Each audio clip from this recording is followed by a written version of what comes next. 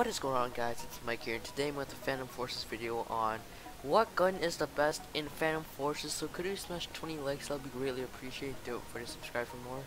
Comment down below any video suggestions or ideas and I'll be glad to do them. Without further ado, let's get right into it. Be sure to check out the groups in the description down below and my Discord. Make sure you guys go join that. Stay updated with the channel and the team.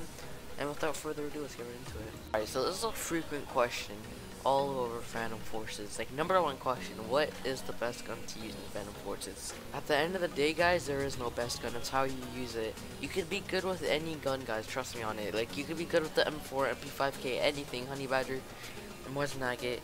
It's just what you're best at using. So there really isn't no best gun.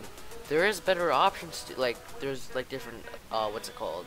Different types of guns to use that might be better in that type of map, but there isn't the best gun though.